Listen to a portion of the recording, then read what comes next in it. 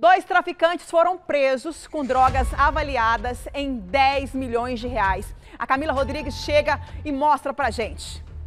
Eletrodomésticos e móveis novos eram usados como forma de armazenamento de droga.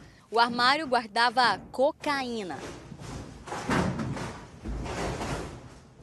Nessa carga do que parecia ser mobília de uma casa, a polícia achou escondidos 78 quilos de cocaína, droga avaliada em 10 milhões de reais. O esquema foi descoberto depois de uma abordagem da Polícia Rodoviária Federal. Tudo começou quando nós prendemos um motorista que era conduzido por veículo de aplicativo na BR-153. Esse motorista buscou droga de uma transportadora aqui da região metropolitana de Goiânia.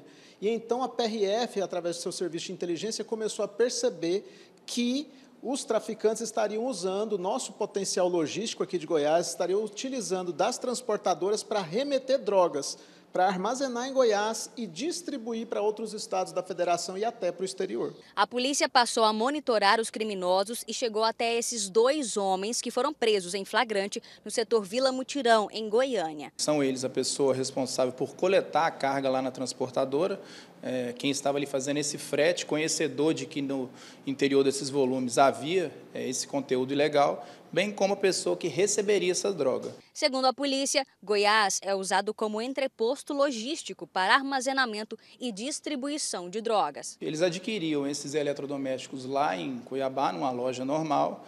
É, antes de enviar para a transportadora, eles recheavam esses eletrodomésticos imóveis com drogas entregava uma nota fiscal para a transportadora e, sem que os profissionais da empresa soubessem, eles estavam transportando toda essa quantidade de drogas para cá. Uma vez que chegava aqui, em curto período de tempo, um desses presos, que é o Izenilton, ele manipulava essa droga e encaminhava essa droga para os locais de destino. Segundo a polícia, não houve participação das transportadoras no crime. Os dois presos que não tinham passagens pela polícia vão responder agora por tráfico interestadual de drogas.